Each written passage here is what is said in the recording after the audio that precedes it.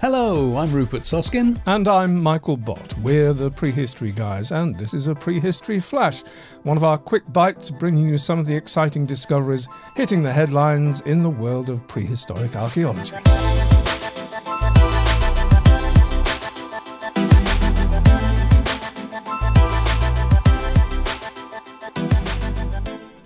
This is a really delightful discovery in New Mexico of the longest trail of footprints ever discovered and dating from the end of the last ice age between 10 and 13,000 years ago.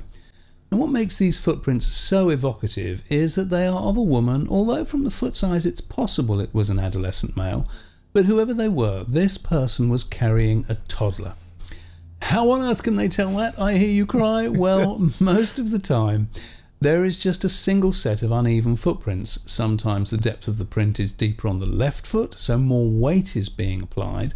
Sometimes it's the right, and every now and again, another set of small footprints appear, where the woman has put the child down to have a rest or readjust things, and then the tiny footprints disappear again where she has picked the child up and continued on her journey. Now, clearly, the differing depths of footprint arose from her shifting the child from one side to the other, something I think a lot of us can relate to. Yes, but not only that. To add to the story, they can tell that she was walking fairly quickly, and the mile long trail of footprints also make a return journey.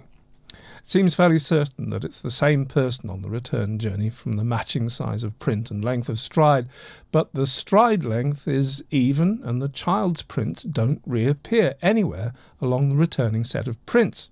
So it would seem the child was being dropped off somewhere, and we um, have to hope, I suppose, it was um, nothing sinister like. Uh, uh, the child being devoured by wild animals, or that she was uh, dropping the child off at uh, dubious Uncle Derek's house, you know, on the other side of the lake.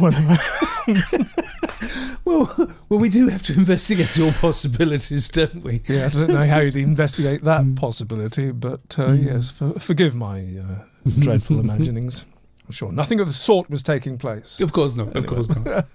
Actually, indeed, talking of wild animals, the tracks of various species do cross the footprints in places. Now, while it's impossible to say for certain that all the tracks were laid down at the same time, the researchers have been able to discern that a woolly mammoth and a giant sloth both crossed the trail of the footprints at different points in the journey. They can even tell from the changing depths and positions of the tracks that at one point the giant sloth raised itself up on its hind legs as if it was trying to get a better view of the possible human threat, or maybe it was uh, sniffing the air, uh, or both. Who knows? Who knows indeed, yeah. The trail runs along what used to be the shores of a vast lake, which, from all the different fossil tracks that have been found there in recent years, researchers know was in constant use by humans and animals. They've even found places where groups of children appear to have been playing in the puddles of water that have accumulated yeah. in the footprints left by giant sloths and mammoths. uh, you know, but uh, but this particular journey must have been difficult because the footprints slip and slide a fair bit from carrying the child in the muddy conditions. Wow, there you are. A snapshot, or should I say, a, a flash photograph of the lives yeah. of humans and extinct animals from at least 10,000 years ago. Amazing. Yeah, there you go. Hope you enjoyed it, folks. We'll see you again next time.